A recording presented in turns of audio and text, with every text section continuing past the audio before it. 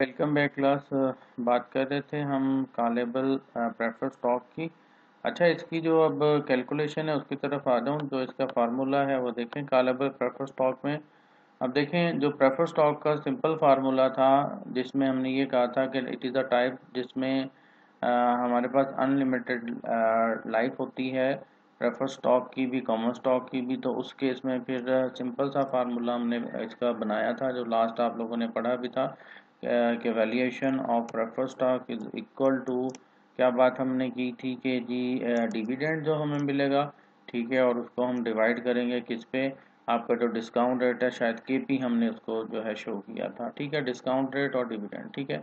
लेकिन इस सिनेरियो में आप क्या बात कर रहे हैं कि कालेबल जो प्रेफर स्टॉक है, वो ऐसा स्टॉक है जिसमें कंपनी क्या करती है एक जो है टाइम जो है, वो डिसाइड कर देती है कि इतने अरसे के बाद कंपनी वापस ले सकती है, ठीक है? और वापस कॉल कर लेती है कॉल शीट तो इसमें इट्स मीन कि हमारे पास दो साल हैं, तीन साल हैं, पाँच साल हैं टाइम पीरियड आ गया, ठीक है? तो टाइम पीरियड के लिए हमारे पास जो फार्मूला बनेगा, वो वही कि dividend divided by one plus K P ठीक है? और पार इज़ टी ये टी टाइम जो है, ज़ाहिर सी बात है, ये कंपनी हमें बताएगी, वो पाँच साल हैं, तीन साल हैं, चार साल हैं तो हर एक साल में जो डिविडेंड हमें मिलेगा, उसकी प्रेजेंट वैल्यू इंटरेस्ट फैक्टर हम अप्लाई उस पर करते रहेंगे और उसकी कैलकुलेशन करते रहेंगे, ठीक है? और प्लस में एट दी एंड जो भी एक टेन्योर पूरा होगा, तीन साल का, पाँच साल का जो कंपनी ने एक डेट दे दी है तो कॉलेबल प्राइस कंपनी ने मेंशन की होगी तो डिवाइड हम कर देंगे, जिस साल भी कंपनी ने कॉल करना है, ठीक है? तो ये आपके पास dividend present value interest factor annuity ये एनवटी का केस बन जाएगा ये वाला पोर्शन और प्लस ये जो कॉलेबल प्राइस है, ये प्रेजेंट वैल्यू इंटरेस्ट फैक्टर ये किसी हद तक वैसा मिलता जुलता फार्मूला हो गया जो कि बॉन्ड की वैल्यूएशन में था, ठीक है? क्योंकि यहाँ पे पीरियड टाइम पीरियड भी आ गया और वो वापस कंपनी जैसे कॉल कर रही है उसको, ठीक है? कॉलेबल जो प्राइस है, वापस भी खरीद रही है तो ये बॉन्ड का नॉन ज़ीरो कूपन बॉन्ड का जो टाइप है बॉन्ड की तो उस जैसा फार्मूला आपका बन जाएगा। ठीक है चलें कि एग्जांपल ले लेते हैं ताकि अच्छी अंडरस्टैंडिंग हो जाए। Let is share of a prefer stock just sold for the 100 dollar and carry a 8% annual dividend ठीक है जी? एनुअल डिविडेंड जो है 8 डॉलर है। 8 परसेंट अगर कह देता है तो फिर भी 8 डॉलर ही बनते थे या एट रुपीज़ जो भी हम बात कर रहे हैं। ठीक हो गया जी? Appropriate discount rate is ten percent ठीक है, जो आपके पास के पी जो है डिस्काउंट रेट है वो ten percent and now assume that this stock has call price is one ten अच्छा अगर 110 इसकी कॉल प्राइस हो इन फाइव ईयर ठीक है फाइव ईयर्स में जो है, यानी कि इसने फाइव ईयर्स में कंपनी ने उसको वापस ले सकती है, ठीक है फाइव ईयर के अंदर अंदर या मैक्सिमम इसकी जो मेच्योरिटी डेट है वो फाइव ईयर है, इसमें कंपनी वापस ले लेगी और कंपनी जो लेगी वन टेन डॉलर का वापस लेगी, ठीक है, जब भी। तो what is the value of this stock देखें जी डिविडेंड आपके पास एट है के जो है आपके पास डिस्काउंट रेट टेन परसेंट है, ठीक है? तो यही फार्मूला है तो इसको थोड़ा सा हम किस तरह से सॉल्व करेंगे ये देखें सॉल्व हुआ हुआ है। और valuation of prefer stock dividend divided by one plus K P की पार वन डिस्काउंट रेट जो भी था, ठीक है? फिर डिविडेंड हमें सेकंड मिलेगा और उसमें जो है present value interest factor second year का अप्लाई करोगे। यहाँ थ्री कर दिया, यहाँ फोर कर दिया फाइव कर दिया सेम एट एट डिविडेंड हमें मिलने हैं, ठीक है, लेकिन उनके इंटरेस्ट फैक्टर प्रेजेंट वैल्यू उनकी निकालनी पड़ेगी। वो हो गया प्लस में कॉलेबल प्राइस और divided by one plus K P की पावर फाइव ठीक है? तो ये इसका सोल्यूशन हुआ हुआ है। बाकी जो है आप ये एक्सेल शीट पे भी थोड़ा सा इसको व्यू कर सकते हैं। लाइक देखें, हमारे पास यहाँ पे देखें ये मैंने किया हुआ है। एट डिविडेंड हमें मिलना है पहले साल भी, दूसरे साल भी, तीसरा, चौथा और पाँचवा, ठीक है? तो ये आठ डॉलर या एट आठ एट रुपीज़ या एट डॉलर जो है हमें ये डिविडेंड मिलना है, ठीक है? जिसको हम कह रहे हैं, क्या है? ये डिविडेंड है, जो कि कंपनी मिलेगी। बाकी ये जो है आपके पास प्रेजेंट वैल्यू इंटरेस्ट फैक्टर ज़ाहिर अब तो आपको पता है ना कि ये जो है आफ्टर वन ईयर मिलना है आफ्टर टू ईयर मिलना है थ्री फोर फाइव ठीक है? तो ये हमें मिलना है तो उसकी जो प्रेजेंट वैल्यू हमें निकालनी है तो वन पॉइंट वन टेन ठीक है? तो उस पर डिवाइड करना है तो आपके पास क्या है? Eight divided by one point one तो ये हमारा देख लें, यहाँ फार्मूला मैंने अप्लाई किया हुआ, आप देख सकते हैं। तो आपके पास सेवन पॉइंट टू सेवन जो है, इसका पहले का आंसर आ जाएगा, ठीक है? इसी तरह से वन पॉइंट वन की पार्ट टू या इसको वैसे सिंपल मैंने मल्टीप्लाई कर दिया, बात एक ही है तो ये आंसर आ जाता है, ठीक है? फिर इसी तरह से जो है थ्री वन पॉइंट वन की पावर थ्री तो आपके पास one point three three one आ जाएगा, ठीक है? एट को मल्टीप्लाई करते हैं तो ये इसका आंसर आ जाएगा फोर एंड फाइव ठीक है? तो इन सब का अगर हम सम करते हैं, ये देखें आपके पास सम तो वो कितना आ रहा है जी? Thirty point three two six two ठीक है?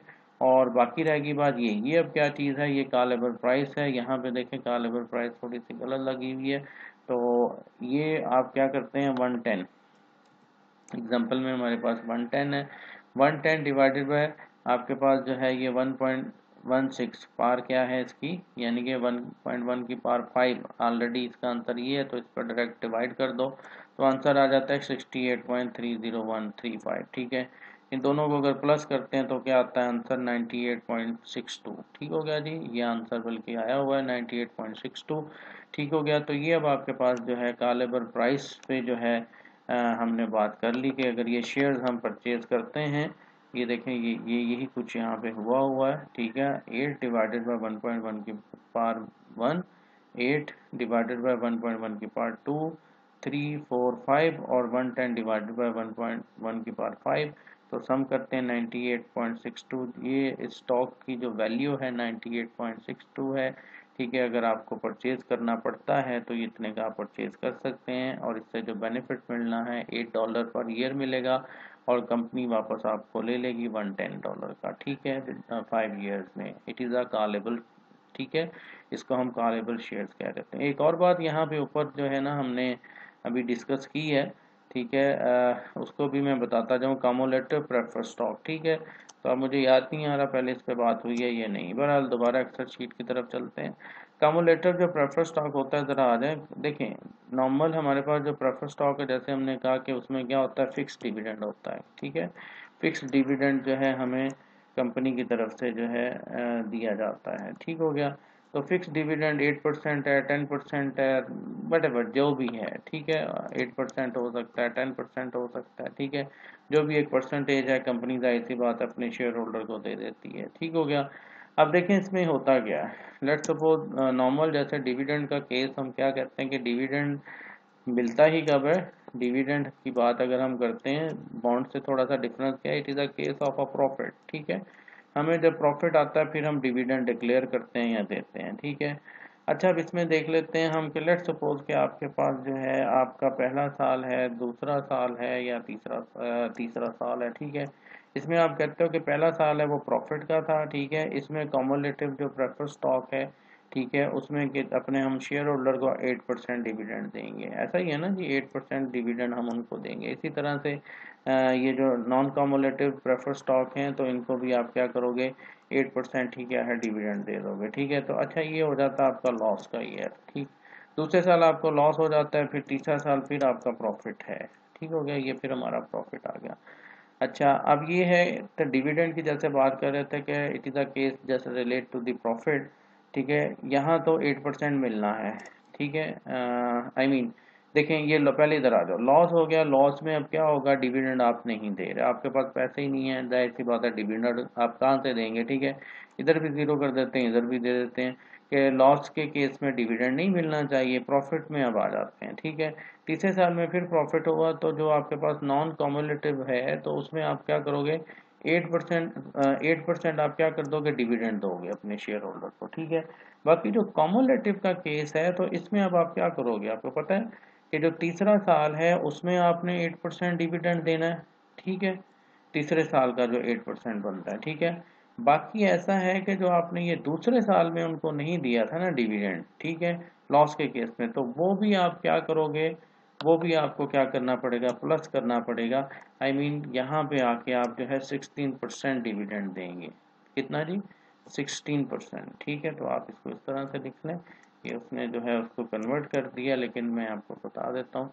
सिक्सटीन परसेंट डिविडेंड हमें क्या करना पड़ेगा? एट इस ईयर का, ठीक है? एट इस ईयर का, ठीक है? तो कॉमोलेटिव आपके पास ऐसी टाइप होती है प्रेफर स्टॉक की, जिसमें अगर लॉस भी हो जाए कंपनी डिविडेंड नहीं भी डिक्लेयर करती तो जब भी डिविडेंड डिक्लेयर करेगी कंपनी तो पिछला भी जो है वो कवर करके प्लस करके देगी। पहले वो ये देगी दोनों दोनों सालों का ये क्लियर करेगी, फिर वो अपने जो कॉमन स्टॉक होल्डर हैं, उनको डिविडेंड देगी, ठीक है? नॉन कॉमुलेटिव प्रेफर स्टॉक बहुत कम होते हैं मार्केट में, ज़्यादातर कॉमुलेटिव ही हैं जो कि सेल होते हैं, ठीक हो गया जी? चलिए, ये हमारा टॉपिक यहाँ पे ख़त्म, और इसका ये जो फार्मूला था, ये भी हमने बात कर ली। आगे जो हमारे पास टॉपिक आ रहा है, वो है आपके पास रेट ऑफ़ रिटर्न तो ये नेक्स्ट उसमें जो है, उसको भी डिस्कस कर लेते हैं, ठीक है क्या जी?